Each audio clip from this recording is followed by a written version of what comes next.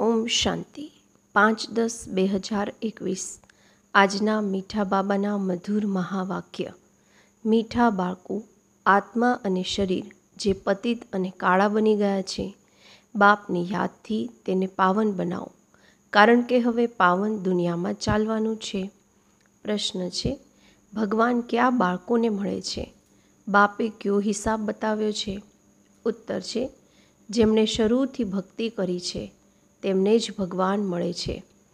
બાબાએ આ હિસાબ બતાવ્યો છે કે સૌથી પહેલાં તમે ભક્તિ કરો છો, એટલે તમને જ પહેલાં પહેલાં ભગવાન દ્વારા જ્ઞાન મળે છે. જેનાથી ફરી તમે નવી દુનિયામાં રાજ્ય કરો છો. બાપ કહે છે, તમે અડધો કલ્પ મને યાદ કર્યો છે. હવે હું આવ્યો છું તમને ભક્તિનું ફળ આપવા. ગીત છે, મરના તેરી ગલી મેં.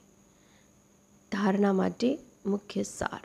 પહેલું છે, કાંટાથી ફૂલ બનાવવાવાળા મોસ્ટ બિલવર્ડ એક બાપ છે. એમને ખૂબ લવથી યાદ કરવાના છે. સુગંધિત પાવન ફૂલ બની બધાને સુખ આપવાનું છે. બીજું, આ નોલેજ સોર્સ ઓફ ઇન્કમ છે. આનાથી એકવીસ જન્મના માટે તમે ખૂબ મોટા વ્યક્તિ બનો છો.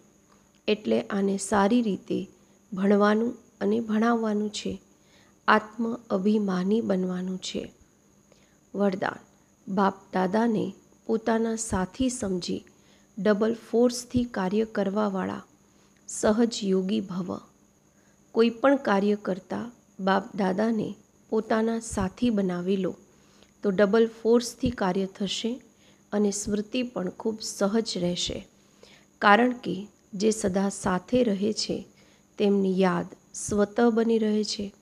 તો એવા સાથી રહેવાથી કે બુદ્ધિ દ્વારા નિરંતર સતનો સંગ કરવાથી સહજ યોગી બની જશો અને પાવરફુલ સંગ હોવાના કારણે દરેક કર્તવ્યમાં તમારો ડબલ ફોર્સ રહેશે, જેનાથી દરેક કાર્યમાં સફળતાની અનુભૂતિ થશે. સ્લોગન છે, મહારથી તે છે જે ક્યારેય માયાના પ્રભાવમાં પરવશ ન થાય. ઓમ શાંતિ.